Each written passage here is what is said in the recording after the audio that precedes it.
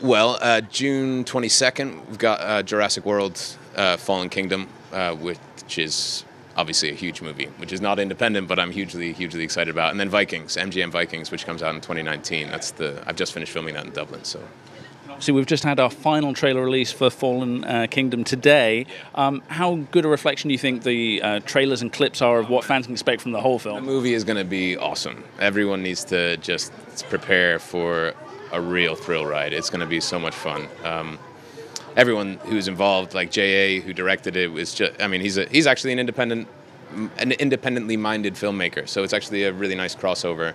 Uh, and then Chris Pratt is just the biggest gentleman, and Daniella Pineda, and all those people are just such a great team.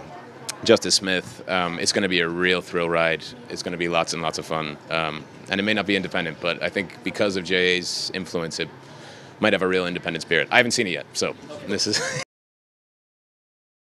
He's a really great visual storyteller. I mean, I think A Monster Calls for me was just, I mean, a, a like it broke my heart that movie. Um, and yeah, so he's got a really great balance between telling amazingly striking visual stories, but also finding those human elements as well, which I think, you know, that's you live and die on those human elements. So, um, so I think that's why a film like Jurassic, which is so dependent on both, you know, so character driven, but also so big on spectacle and CG and all that stuff.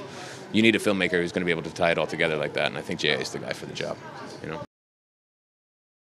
I was never personally the victim of, of any pranks from Chris, but he's certainly an incredibly charming guy. I actually, it's not the first time I met him. I had a tiny like blink and you'll miss it part in Guardians of the Galaxy One, which was like, which was great fun. I spent a lot of wasted time on that movie, kind of just sitting in my trailer waiting to get called. But um, but it wasn't really wasted time because you're learning from guys like James Gunn and, and you have guys like Chris Pratt who are around the place, you know, just kicking up dust and having a great time and showing you that it's possible to be a legitimate leading man and also be incredibly charming and funny and nice and um, and genuine. And you know, Chris seems to be one of those guys who has not been changed by the fame and stuff. It was interesting actually meeting him on Guardians One because he had he wasn't quite the Chris Pratt that we all know yet at that point. You know, he was still the guy from from Parks and Rec, and he was still so humble and all that stuff. And I was a little bit worried that when that movie came out, that he might lose some of that. But sure enough, he's he's continued to be a gentleman, which is kind of what you want from your movie stars, I guess.